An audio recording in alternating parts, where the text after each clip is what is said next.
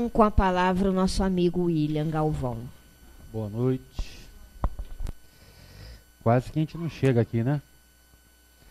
Caramba, saí quatro e meia da cidade, cheguei aqui, tava para São Paulo, tava falando para ela. É, tá.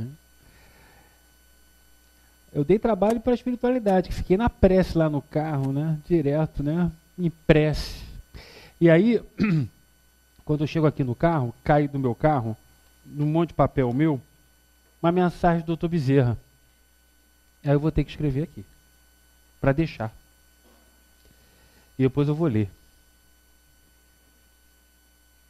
Uma mensagem que diz: Filhos, desculpa a letra, tá? Não vos é. Mas eu estou caprichando. Esqueçais de orar.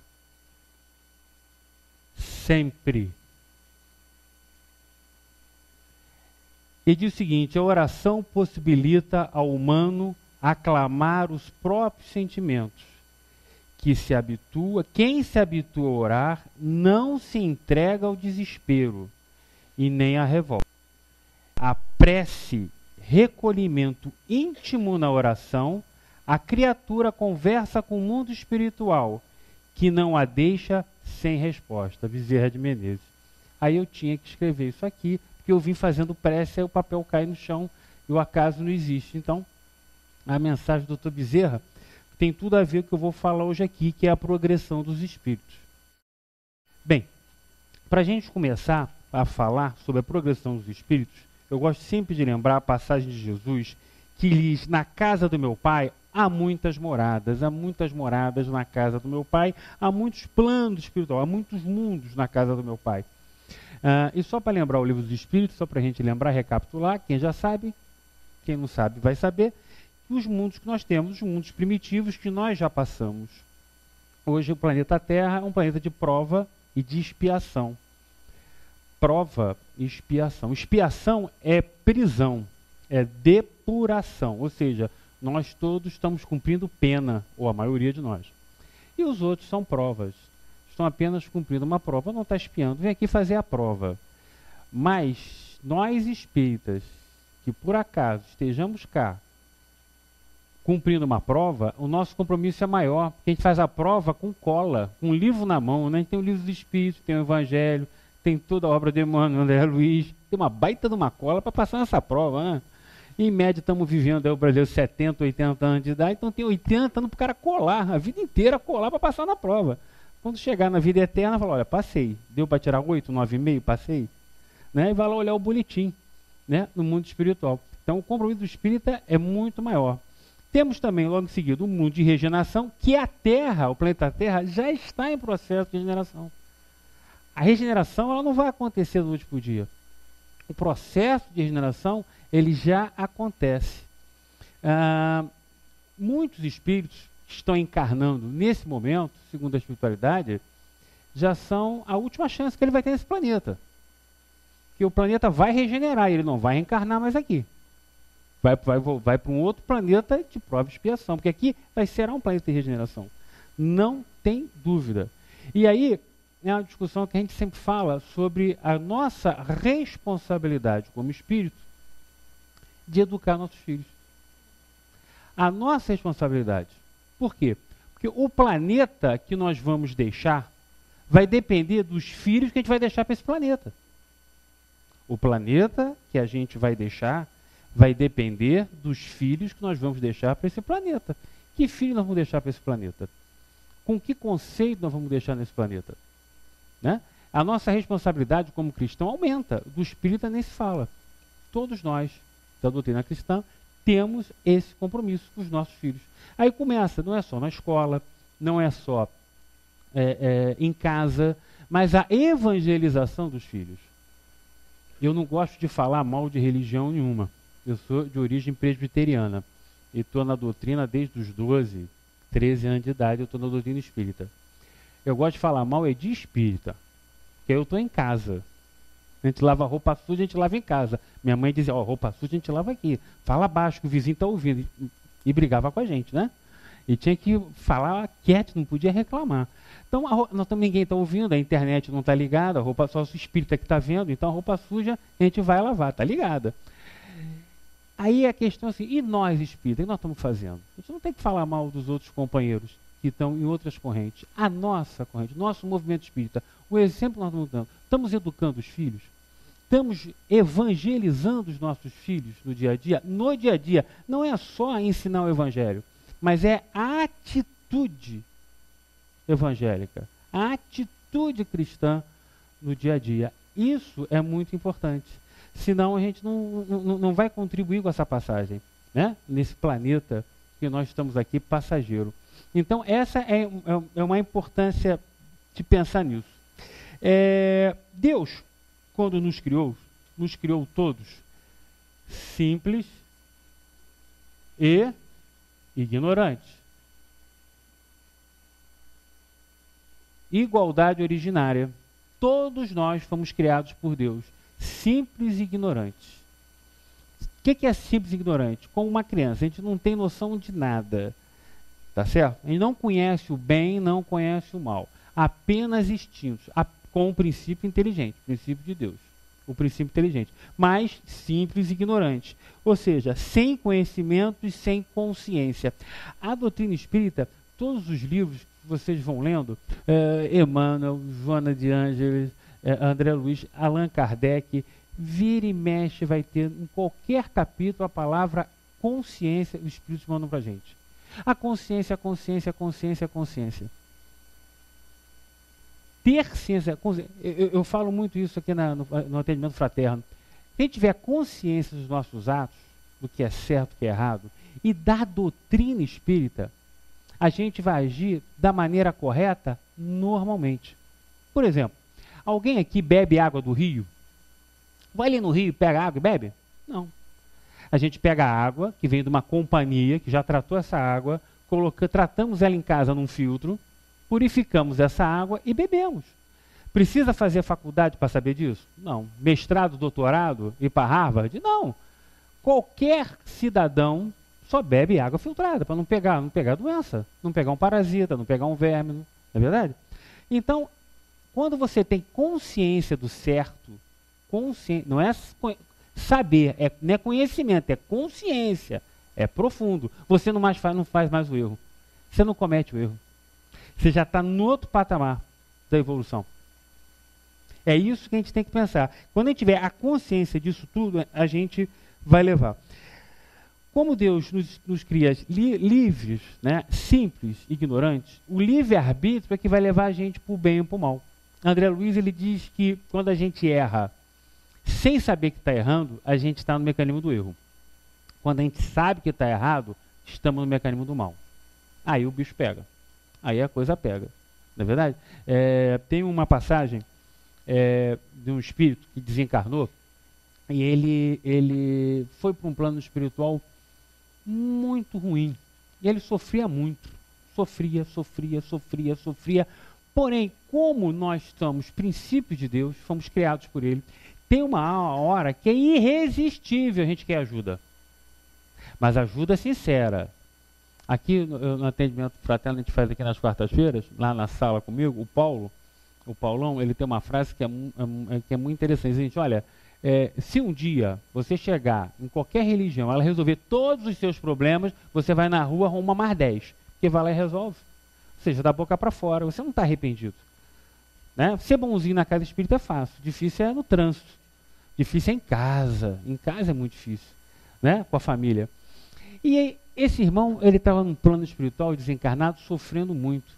E um dia ele pede ajuda sincera, ele cai em si plena consciência da situação dele e pede socorro a Deus. E aí parece uma voz para ele o seguinte: Bem, meu irmão, nós viemos aqui para te socorrer. Eu queria que você pensasse numa coisa boa que você fez quando você estava encarnado na terra. Aí ele lascou, não fiz nada de bom, ele pensou, pensou, não vai ter jeito, não, vou sair daqui não. Pensa, rapaz, mas eu só fiz barbaridade, eu matei, eu estuprei, eu não fiz nada de bom. Pensa, alguma coisa de bom. Aí ele lembrou, como ele era um nome do deserto, ele estava no oásis para beber água, aí tinha uma aranha na pedra, Ele pegou a espada e falou: vou matar essa aranha. Aí ele falou: não, não vou matar a aranha, não, deixa para lá, não está me fazendo mal. Cara, eu só lembro disso. Serve como coisa boa? Porque eu só lembro disso, eu não fiz nada de bom, né?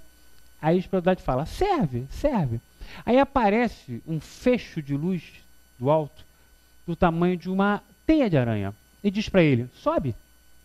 Aí ele meio desconfiado, olhou para aquilo, puxou, fez aquilo estava firme, se aguentar o peso, porque apesar de desencarnado, ele ainda tinha sensações, como se tivesse encarnado. Ele não tinha noção ainda, a consciência que ele estava desencarnado. E ele começa a subir naquele fecho. Quando ele começa, quando ele está quase no meio do caminho, que ele olha para baixo, tinha uma gama de espíritos subindo também, querendo a luz. Aí ele mete o pé e fala: sai, sai, quem não matou a aranha fui eu, sai. Cortou a, a teia, ele ficou mais alguns anos dentro daquele plano, sofrendo. Ele não estava preparado ainda. Ele não estava arrependido. Ele não tinha consciência do que estava acontecendo e vai sofrer. E vai sofrer. Então, a consciência do que você dos seus atos é importantíssimo. Você você ter essa consciência. É isso que vai te fazer evoluir no dia a dia. E aí Jesus diz, ó, tem que estudar. Né? Espiritismo sem estudo não tem qualidade. Não tem qualidade, não tem. E, e, e os filósofos falam isso. Se você não está preparado, não está preparado para o trabalho adequadamente, você não vai exercer um trabalho de qualidade. Você, esse trabalho é só boa intenção. É só boa intenção. Um médico não está preparado para operar, é só tem boa intenção, mas não vai operar direito. Um professor que não sabe ensinar, que não conhece a matéria, ele só tem boa intenção. Ele não vai conseguir passar aquilo para o aluno, para o aluno captar aquilo. E nós, espíritas, precisamos, no dia a dia, ser esse fator multiplicador. Como se fosse uma frente de, onda. Uma frente de onda. A, a, a, na física, a gente fala o seguinte, que quando você tem um lago, um lago, você joga uma pedra. Você joga uma pedra, ela cai, aí faz uma onda, uma onda, uma onda. Não faz assim? Você joga a pedra aqui, aí ela vai, vai, aí passa outra, até que ela se despaça. O nome disso é frente de onda. É uma frente de onda que gera outra frente de onda, que gera e vai propagando aquela energia. Nós espíritas temos que ser essa frente de onda.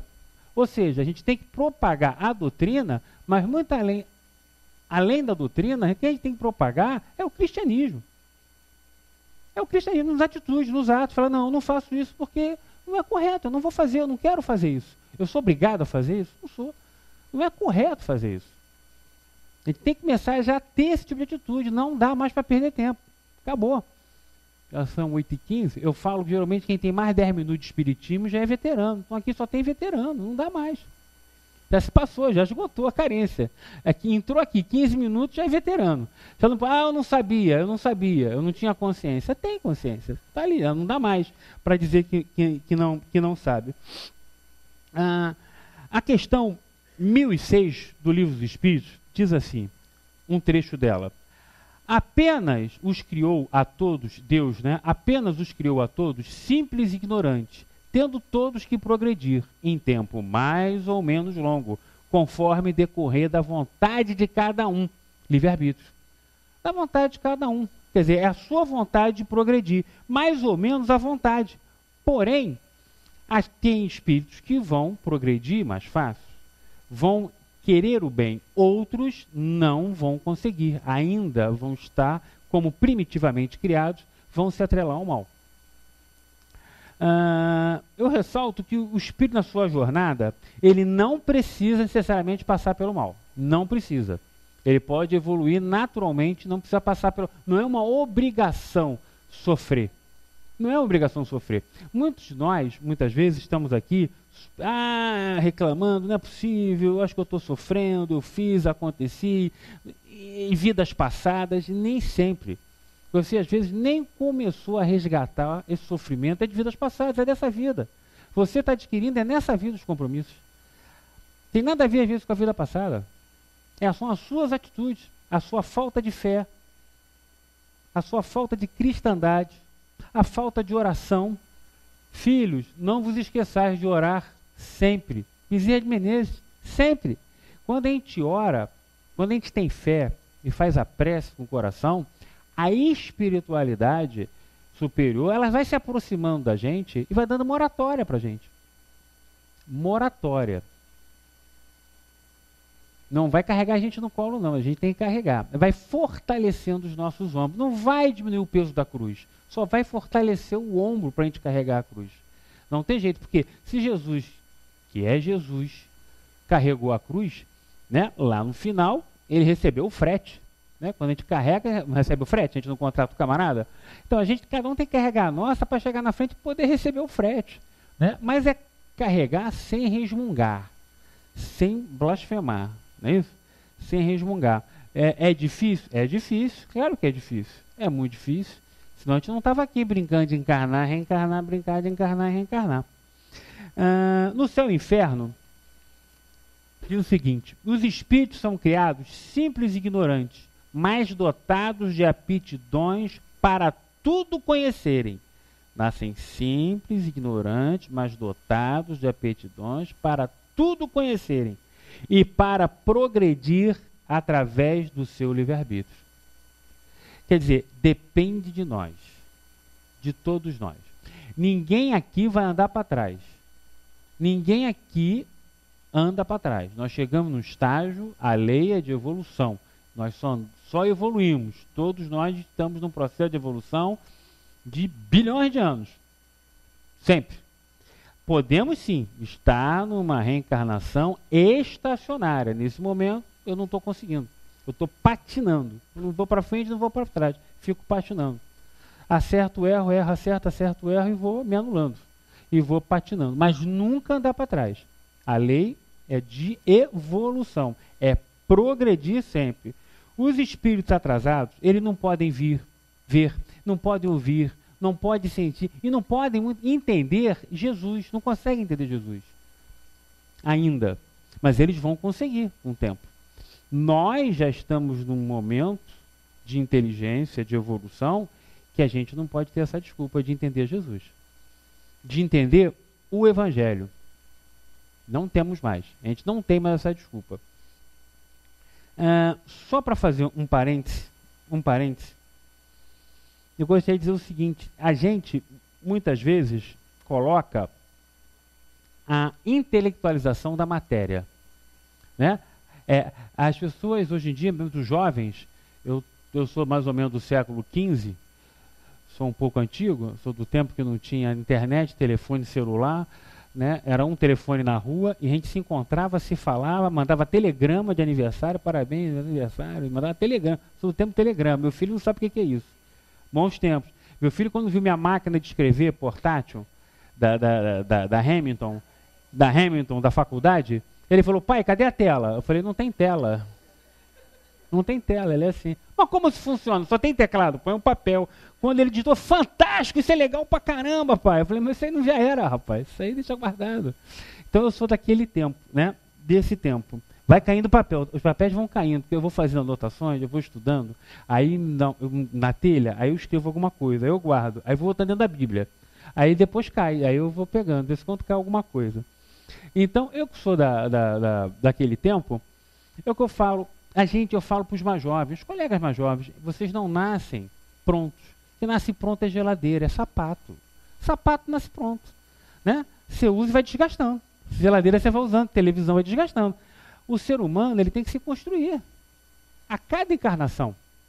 Por que, que a gente entra num processo encarnatório, num processo de esquecimento? Porque você vai ganhar um cérebro novo, vazio, num corpinho infantil. É necessário esse esquecimento para que você não tenha aquela lembrança do passado e comece tudo de novo no livre-arbítrio que Deus te dá na misericórdia divina. Imagina, você num corpinho desse tamaninho, abre o olho e fala: E aí, cara, tudo bem? Não vai dar. Não pode, né? O pai infarta, o médico infarta, a enfermeira sai correndo, não pode.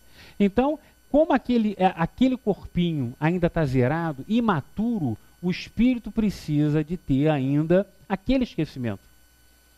Primeiro passo. Segundo passo, se não houver o esquecimento, você não vai ter condições de exercer o livre-arbítrio. Você pode estar morando na sua casa com uma pessoa que te fez muito mal, vocês vieram parentes para se resgatar. Se tiver esse conhecimento, dificulta o teu livre-arbítrio desse resgate. Eu só quero ler aqui um pedaço de Isaías, não vou ler tudo não. Eu gosto muito de Isaías, que é um profeta do Velho Testamento. E só lembrando que Jesus, para quem não sabe ou não lembra, era judeu. Como judeu, ele estudou para ser rabino, é rabi. Chamava ele de rabi. Rabi é mestre. Por isso é o mestre Jesus. Não chamava ele de mestre, rabi. Por isso que respeitavam ele na sinagoga. Respeitavam Jesus sinagoga. Ele conhecia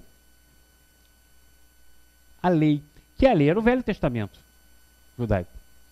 Quando o cristianismo ele começa a querer criar uma filosofia a ter um guia, que foi com Paulo, não foi com Mateus, não foi com Marcos, foi Paulo, Paulo, que começou a escrever. Se a gente fosse fazer o Novo Testamento cronologicamente, teríamos que começar com Paulo. Depois Mateus, depois Marcos, você poderia colocar os outros. Porém, ele começou a dar forma ao cristianismo, a escrever, a colocar aquilo ali. E aí se pegou o Velho Testamento e o Novo. E Isaías é um profeta muito interessante, que ele diz assim, Isaías, no capítulo 59, versículo 10. Ele diz assim, ó: Se abrires a tua alma ao faminto e fartares a alma aflita, então a tua luz nascerá nas trevas e a tua escuridão será como o meio-dia. Coisa linda, né? Caridade, auxílio, benevolência, indulgência. Vou repetir. Se abrires a tua alma ao faminto e fartares a alma aflita, então a tua luz nascerá nas trevas e a tua escuridão será como o meio-dia. Emmanuel diz o seguinte: uma das maiores caridades é evangelizar um espírito. A maior das caridades, Emmanuel, a maior das caridades é evangelizar um espírito. E aí, eu vou pegar carona em Emmanuel, e aí é eu que estou dizendo. Para mim, a mais, a profissão mais comprometida é de professora. A professora, ela tem um compromisso, na minha opinião, agora é o William que está falando, imenso. Porque se eu, eu que já pegaram um, um, um jornal russo em, escrito em russo, Moscou, você não entende nada, é um bando de letra. A criança, se não for alfabetizada, é exatamente assim que ela vai ver o mundo. Então, a professora, quando ela faz a alfabetização de uma criança, é a primeira luz daquele espírito nessa nova vida. Olha o compromisso dessa professora, do trabalho dela. Eu não estou discutindo questões é, é, econômicas, sociais, políticas, enfim, não é essa a finalidade. A finalidade da profissão da beleza dessa profissão, de alfabetizar. E se não for alfabetizado, alfabetiza, facilita a evangelização, a leitura, o entendimento dessas crianças. Você vai estimular o crescimento dela, vai estimular esse cérebro novo que ela recebeu. E ela vai é, é, conseguir evoluir. Claro, existem espíritos que reencarnam numa condição espiritual, de evolução espiritual, maior que outros. Então, muitas vezes, eles é que vão ensinar a gente. Eles falam cada coisa para a gente, a criança, que você leva um susto, né? Ela, ela, ela manda para você algumas coisas que você se assusta. E outras precisam de mais ajuda. Por isso que a gente não deve julgar.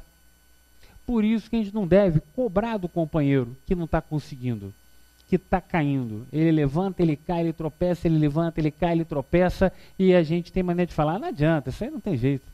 Por que, que não tem jeito? A gente não pode desistir. Como a gente não pode desistir de Jesus. Jesus não desistiu da gente. Na hora que a gente desiste desse companheiro, ele desistiu de Jesus. Por quê? Mas ele não consegue, rapaz. Não, mas tu sabe o esforço que ele está fazendo? Você sabe a limitação desse espírito tem? O esforço que ele está fazendo nessa encarnação para conseguir isso, não consegue?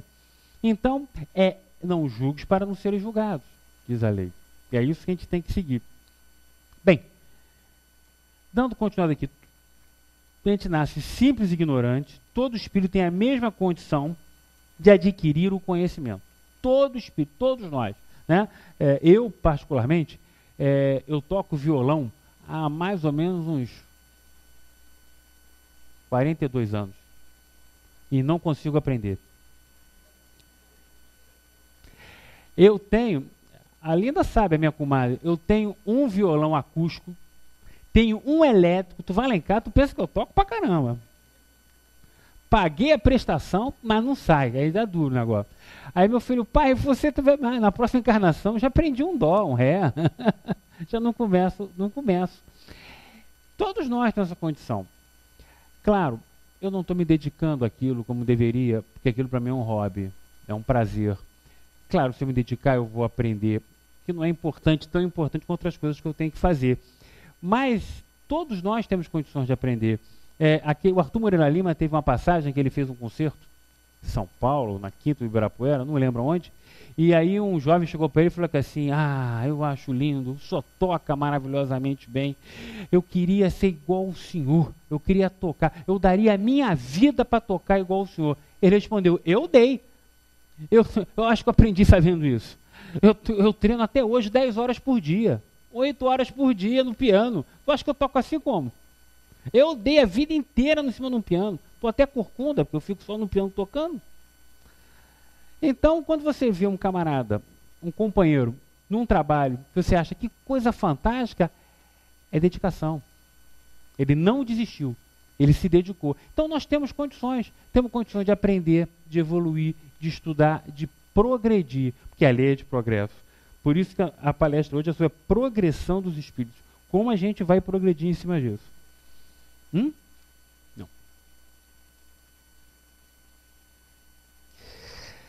A lei, a lei que deve construir a nossa vida é a lei de Deus. Tudo que tiver de acordo com a lei, a gente tem que fazer. Tudo que tiver de desacordo, não vamos fazer. É simples assim.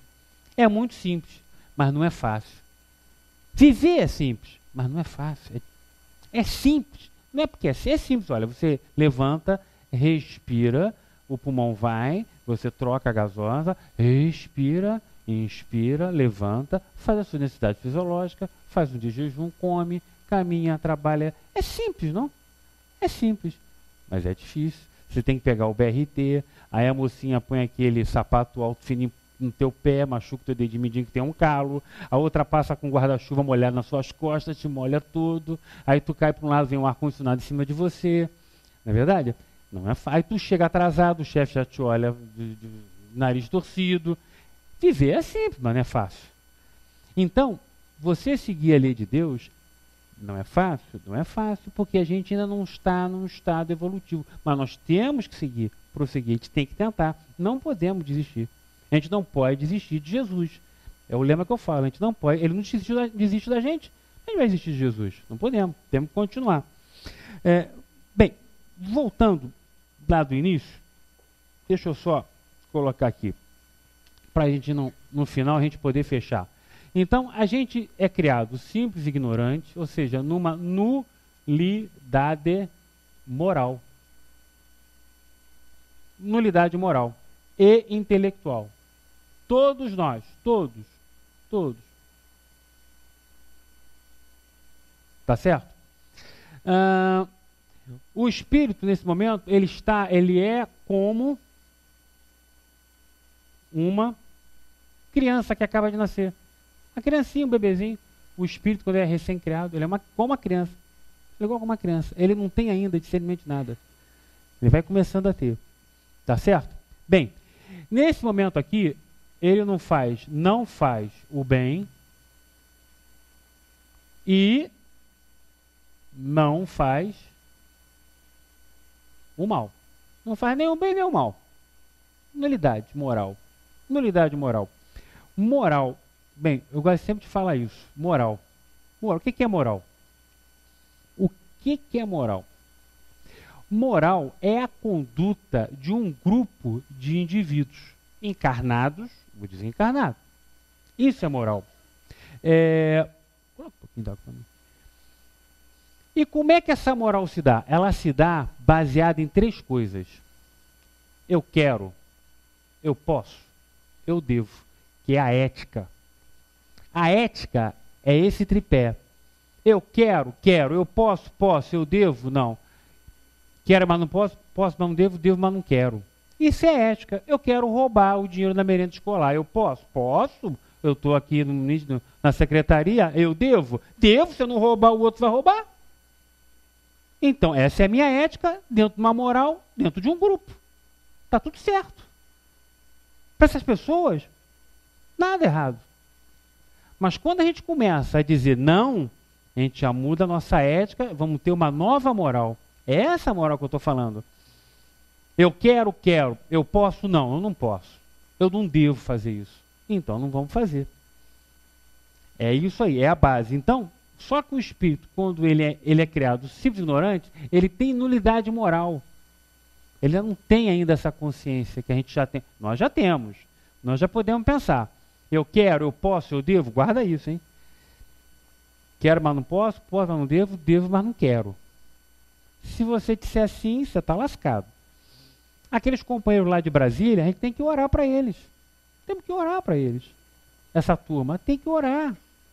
Tem que, eles não tem muita gente ali, não tem consciência não. Não tem consciência não. A gente tem que orar para esse pessoal. E a gente e não cometermos, porque não adianta você orar para eles e você fazer a mesma coisa.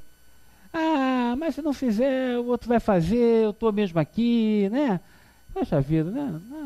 A gente encarna de novo, deixa para a próxima, né? Eu vou falar nisso, deixa para a próxima. Não, não pode. Na hora que o bicho pega, você quer auxílio, você quer ajuda, aí vai, aí vai dizer assim, ó, vou te deixar para próxima, tá legal? Na próxima eu venho aí. Eu brinco dizendo, se Deus a, a, a, permitir, quando eu desencarnar, eu disse isso uma vez, quando acabei aqui a reunião, perguntaram: você tem alguma doença grave? Você vai desencarnar? Eu falei: não, ainda não, acho que não, não tenho nada não. quando eu desencarnar, se eu tiver a graça de trabalhar com o professor Euripides aqui na Casa Espírita, já desencarnado, aí vocês vão estar sentados aí, pedindo, eu vou falar assim no ouvido, ó, faz a tua parte, faz a tua parte. Sou eu, hein? Sou eu. Pode falar, sai daí, William, sai daí, me deixa em paz, deixa eu, deixa eu ficar aqui em paz, né? Você eu não ouvi de você, faz a tua parte, estou te ouvindo, hein? Faz a tua parte. Ficar pedindo, pedindo, não faz a parte. Não faz dever de casa, não adianta, você não vai, não vai chegar a lugar nenhum, né? O Pelé, o Pelé, o Pelé tinha um dom, tinha dom, o dom Pelé tinha era o Dondinho, o pai dele. É o Dondinho. O pai dele não era Dondinho? Era o Dondinho. Porque o pai do Pelé foi jogador de futebol e botava o garoto com 16, 17 anos para ficar duas horas treinando depois do treino obrigou o menino a cabecear de olho aberto. Quem joga futebol sabe que isso é dificílimo. Quando vem um objeto na sua frente, o reflexo é você fechar os olhos para se proteger. A pupila é, é o reflexo. O pai obrigou o garoto a cabecear contra o sol. Quando ele pegava na sombra, ele fazia miséria, botava a bola onde ele queria, com a cabeça. Era esguio. Claro, ele tinha o quê? Ele tinha uma natureza muscular, esquelética, que o favorecia. Mas muitos têm essa natureza, não é só ele. Quantos nascem nessa Agora, ele treinou. O que ele tinha, na verdade, de diferente, que ele desenvolveu, era uma percepção de espaço. Então, quando ele recebia a bola, ele já pensava no que ele ia fazer. Mas se ele não treinasse aquilo, ele não ia conseguir fazer o Arthur Moreira Lima tocar como tocava. Então, as pessoas que a gente olha e fala, que fantástico, o camarada faz isso, etc e tal, ele está dando a vida naquilo. E nós estamos dando a vida que Deus quer da gente. É só que a gente faça o certo. Não precisa ficar cabeceando de olho aberto contra o sol, não, viu, gente? Não estou mandando fazer isso, não. Porque amanhã todo mundo olhando o sol e jogando. É isso, não. É só fazer o certo. É só fazer o certo. É só adquirir a consciência do bem e do mal, do certo e errado.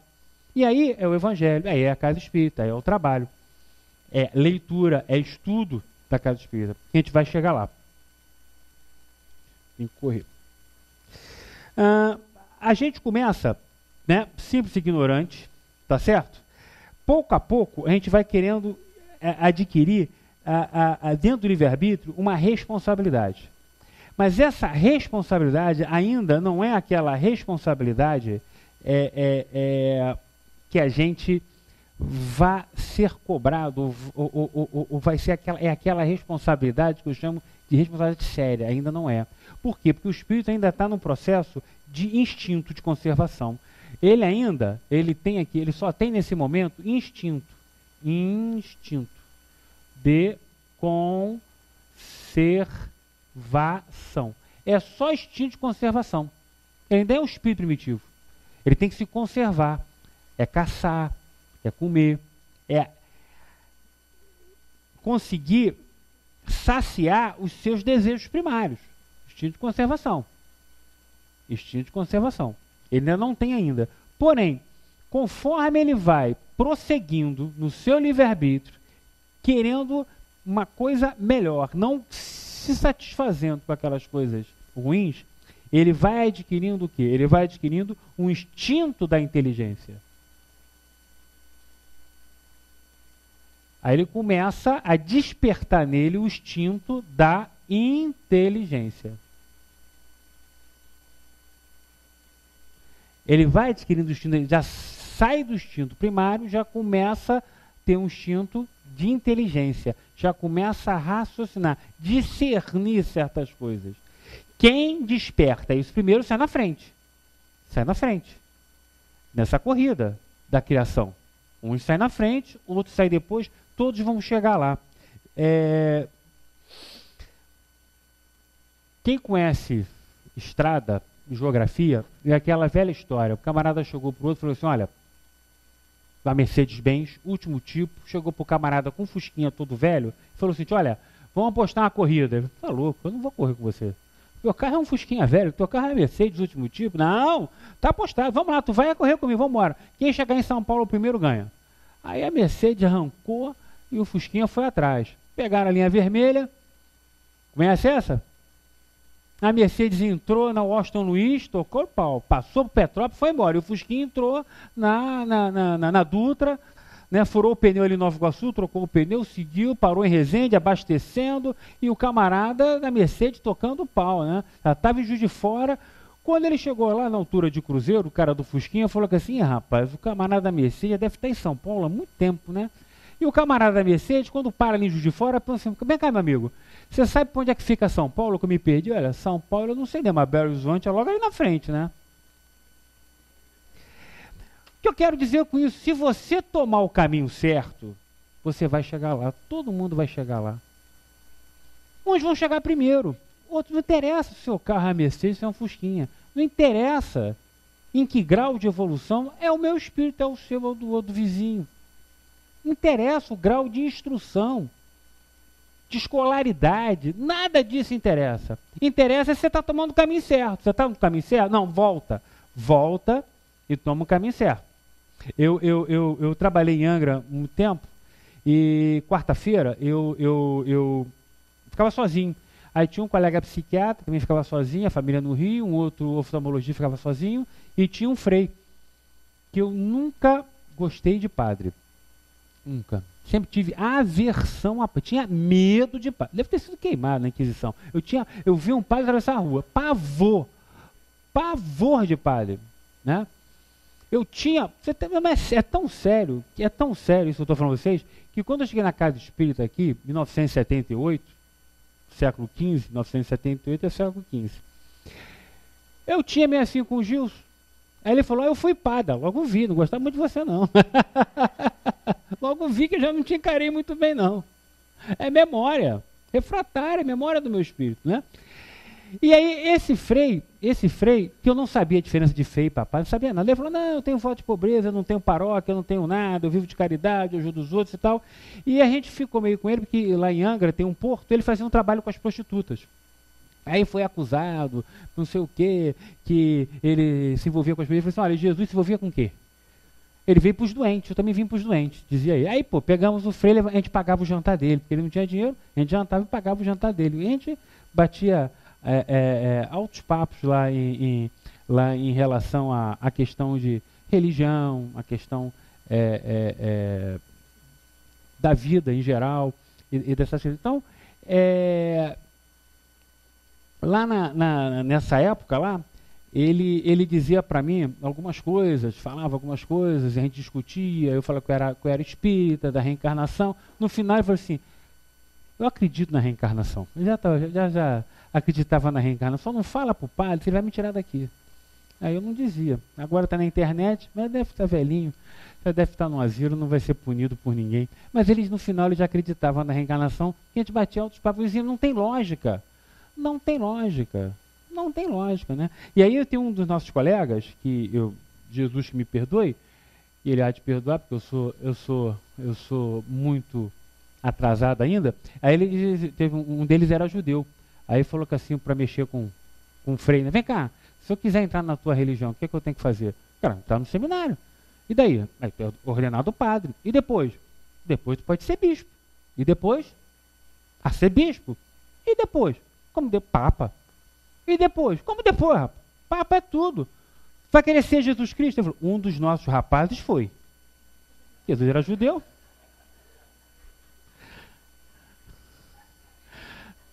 Um dos nossos rapazes foi, velho. Por que, que não é?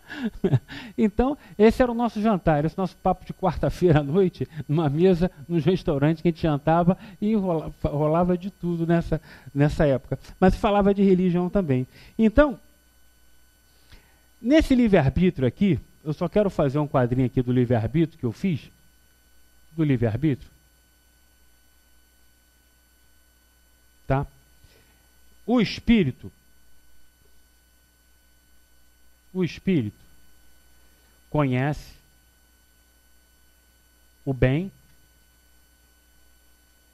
e o mal. Ele já chega nesse momento, já conhece o bem e o mal. Já começa ele ter noção. Quando ele tem esse princípio aqui, ó, da inteligência, ele já sabe que é o bem e que é o mal. Ele já começa a ter essa noção. Tá certo? Não estão, tá certo? Não estão isentos de sofrimento, nem do bem nem do mal, não estão, não estão isentos. Ninguém está isento. Bem, mas aí, aquele que escolhe o bem, ele vai ter mérito para a evolução e vai evoluir mais rápido. Aquele que vai escolher o mal, tá certo?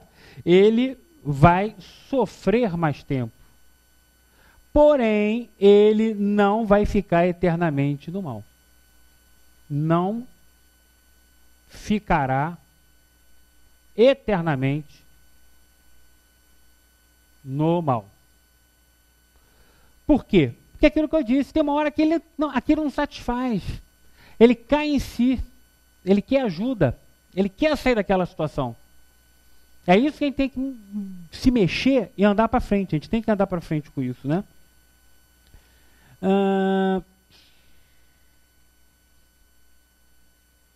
Só para eu não perder aqui.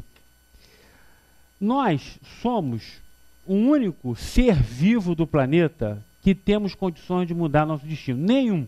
Cachorro não pode, gato não pode, elefante não pode, leão não pode. O único que pode mudar o seu destino nesse planeta, um ser vivo, é o ser humano. É o único que tem condições disso.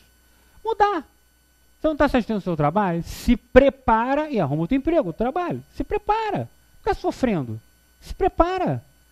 É duro, é duro. Agora quer cair, cair do céu, não dá. Cai do céu, agora está caindo umas peças aí de satélite, caiu outro dia aí. É o que cai, não cai nada do céu. Tem que trabalhar, tem que estudar, tem que ralar. Não tem jeito, né? É, então, no ponto que a gente já está de inteligência bastante desenvolvida, a gente já está numa condição que a gente já sabe julgar sadiamente o que é o bem e o que é o mal. A gente já tem essa condição. A gente não está mais na, dizer, ah, eu não sabia, né? eu não sabia, não, sabia. Sabe que é certo e que é errado. Eu tenho um, um, uma pessoa, um ex-amigo meu, ele é ex-amigo, porque nunca mais me procurou. Então eu acho que ele é meu ex-amigo. Porque ele estava na minha casa, ah, eu queria ser igual a você, igual a Vera, vocês são bacana, que casal bacana, sua casa, tudo meu era bacana. E eu tô olhando para a cara dele, sentado na mesa lanchando. Eu tô olhando para a cara do camarada. Ele, não, porque eu casei com a fulana, a fulana era maluca, é doida, varrida, e falou mal da fulana. Depois eu separei quando conheci a ciclana. Oh, tá doida, varrida, agora eu já tô com a outra que também vai pelo mesmo caminho. Eu botei chiclete na cruz, ele disse para mim, né? Aí eu falei, nada, rapaz. É o seguinte, é que gente problemática gosta de gente problemática. O problema é você. Nunca mais foi na minha casa, não sei porquê.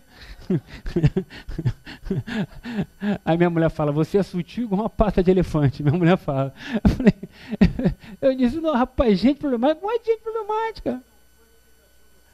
Problemática.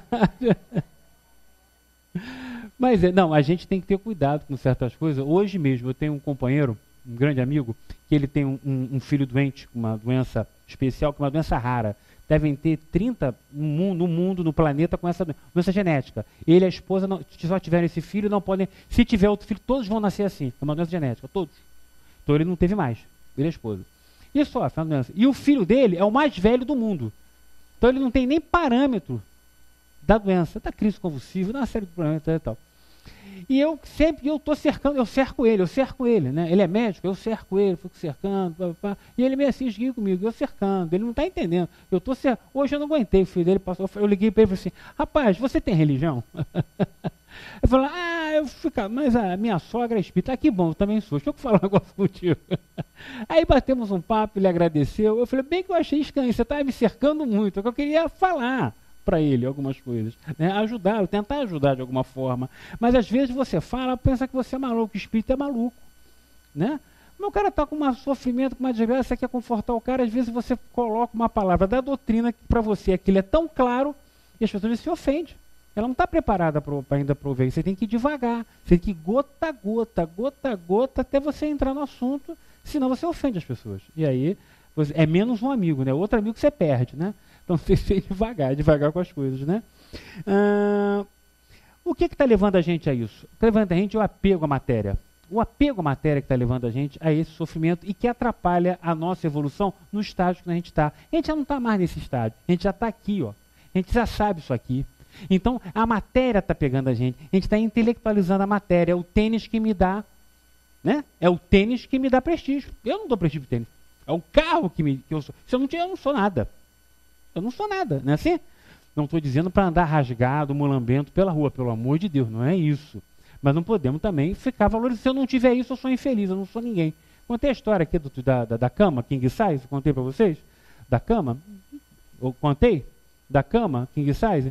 A mãe, eu não vou falar o nome, que está na internet, a pessoa, é o fato verídico, um grande executivo de uma grande empresa, ele tinha uma vida feita, apartamento de três quartos na, na, na, na Jardim Oceânico, Barra da Tijuca, carro quitado, filho tranquilo, tá tudo tranquilo na vida dele, três quartos, beleza, a esposa. A mulher olhou e falou assim, viu na casa de alguém uma cama king size, tamanho real, uma cama enorme, é monstra a cama. Comprou a cama, ela não dava no quarto. A empurra para cá, joga, ficou uma bagunça a casa dele com aquela cama. Qual é a conclusão? Um apartamento maior, claro. Eu preciso de um apartamento maior. O problema não é mais, é o apartamento que é pequeno. Aí ele vende o apartamento quitado, faz uma dívida, compra uma cobertura linear. Não é na Pavuna, ele compra a cobertura na Barra da Tijuca também, que é mais cara ainda. Fez uma dívida, ele não tinha dívida. Ele vendeu o imóvel, deu de entrada e fez uma dívida. Não deu seis meses, ele perdeu o emprego. Perdeu o emprego. Como a misericórdia divina é tão, é tão grande, ele conseguiu vender a cobertura, sobrar um dinheirinho e comprar um dois quartos no Meia. Tá bem. Tá bem, mas tudo com uma cama quem sabe. ele, não, ele levou a mulher, a cama ele vendeu. Mas a mulher ele está com ela até hoje. Ele só se desfez da cama, a mulher ele não desfez não, continua com a mulher. A dúvida que surgiu aqui, só para explicar. A mulher ele continua, só desfez da cama. Às vezes o camarada fica com a cama e desfaz da mulher, né? Então é. é mas a, essa relação eu, falo sempre aqui, a relação entre um homem e uma mulher, entre um casal, é uma relação que de um lado está a razão, do outro lado está o marido. Nós somos marido, então. Você é marido também, não ri não. não, né? De um lado está a razão, do outro está o marido. Né? Então você tem que. É, é, é, o cara fala, Pá, como é que você dá tão bem com a tua esposa? Aí eu falo para ele, como é que eu, eu, ensino em casa. A minha mulher está falando, eu fico, uhum, Hum, hum, Claro, sim. Né? Hum. É. Como não? Perfeito. É. Pronto, acabou o problema. Você não tem problema. Está do lado da razão, você é o marido, a razão está do lado de lá. Mas se eu faço isso, ela briga comigo. Ela já sabe que eu estou de gozação, ela briga comigo, eu não posso fazer. Que essa. Não, hoje, deu, hoje deu um nó na Barra da Tijuca, uma blitz, parou a cidade. Eu saí quatro e meia, cheguei aqui 15, no, em cima do laço. E ela não conseguiu chegar, minha esposa não conseguiu chegar, nem ela nem os filhos. Então, ficaram presos aí, porque parou toda a cidade. Foi uma loucura hoje aqui para chegar aqui. Mas uh, ela sabe que eu estou brincando, né? Mas hoje eu devo dormir no sofá. Se ela está vendo, eu vou dormir no sofá. Todo apego é caminho de sofrimento. Gera o sofrimento, né? O apego vai gerar medo. Medo que? Medo de perder o que você não tem. Eu preciso daquele relógio, eu preciso daquele tênis, eu preciso daquele carro. Mas você não tem, já está sofrendo. que você está intelectualizando a matéria. É a matéria mais importante do que você. Você não é nada sem aquilo. Né? Aí vai dando tristeza, sensação de perda que você não teve. Né? Aí vai criar o quê? É o modo de ter. Porque nós temos a sensação de ter, né? É? é meu filho, meu cachorro, minha casa, meu marido, minha mulher, meu namorado, minha namorada, minha doutrina, a minha religião, é, tudo é meu. Eu tenho, tudo é meu. Tudo é meu. E aí você vai se afastando da espiritualidade, do divino. Então a origem disso é a ignorância da sua condição original, que você é um espírito. Essa agora ninguém mais, agora ninguém mais vai fazer isso aqui, já ninguém mais é ignorante, já sabe. Ignorante é quem ignora, ninguém mais ignora. Todos nós somos espíritos. A nossa condição de espírito. Estamos encarnados, mas somos espíritos, espíritos eternos. Você é um espírito, você não tem é nada. Você não tem nada. Você não tem nada. Você não tem nada. Então, como é que nós vamos chegar a isso? Como eu iniciei falando, tá certo? Na origem, nós só temos o que? Instintos. Instintos. Tá? Avançando, o homem começa a ter sensações. Depois ele vai depurando, vai tendo sentimentos. Então ele começa com instintos, sensações e depois sentimentos. Aí ele vai condensando conforme ele vai evoluindo nesses sentimentos. E aí ele vai ter o quê? Ele vai tendo o que eu chamo de BIP. Ele precisa de quê? De benevolência. De quê? De indulgência e de perdão. Conforme você vai evoluindo, você vai tendo aqui o BIP. Benevolência, indulgência e perdão. Quando você chega nesse estágio aqui, todos nós vamos chegar, é cedo ou tarde, a gente vai chegar nesse estado, a gente vai chegar numa outra igualdade, que é a igualdade qual? Transcendental. Eu comecei com uma igualdade originária, a gente vai chegar na igualdade transcendental, aquela que transcende os desejos baixos, desejos inferiores, em que a gente só pensa no bem. Naturalmente, a gente não tem mais noção do que é o mal. O mal já passou. Os nossos instintos que a gente tinha já viraram sentimentos de benevolência, de indulgência, de perdão. Você já não se ofende mais. Nós estamos nessa, nessa, nessa igualdade? Ainda não, mas a gente vai chegar nessa igualdade é, é, transcendental. É, para terminar, estou em cima do laço, né? Você deixa? Obrigado. Para terminar, eu só quero falar de uma passagem que eu gosto muito. E aí eu vou ler a Bíblia, tá? É... Eu só achar ele aqui. É dois. É o dois. Espera aí. Achei. A cura de um paralítico em Cafarnaum. Vocês conhecem essa passagem? A cura do paralítico? Essa passagem fantástica. Você tem benevolência, tem indulgência, você tem amizade, você tem tudo. Eram jovens, eu vou, eram jovens que eles tinham um amigo doente numa cama, um paralítico. E eles queriam muito. Era um paralítico. Eles podiam ir se divertir e deixar um amigo na cama. Eles podiam fazer pescar e deixar um amigo na cama. Namorar e deixar um amigo na cama. Mas eles se preocupavam com aquele amigo. Eles tinham um sentimento de benevolência, de, de indulgência, de amor. Um amor ao próximo. Eles já tinham esse sentimento. E eles ouviram falar de Jesus, que Jesus curava. Que o rabi curava. Que o mestre curava. E ele estava em Carfanaum. Quando eles chegaram nessa casa, era uma multidão que não, eles não conseguiam entrar. E eles tinham que vir tipo uma maca, uma padiola, uma cama. Eles não, eles, eles não conseguiam entrar com aquela multidão, porque como os espíritos são inferiores, a gente ainda é inferior, a farinha é pouco, meu pirão primeiro, ninguém quer deixar entrar, primeiro sou eu. Jesus está ali, dá licença. Quem não matou a aranha sou eu, sai daí. Eu quero passar primeiro, tem que chegar a minha vez. Não é assim que a gente faz?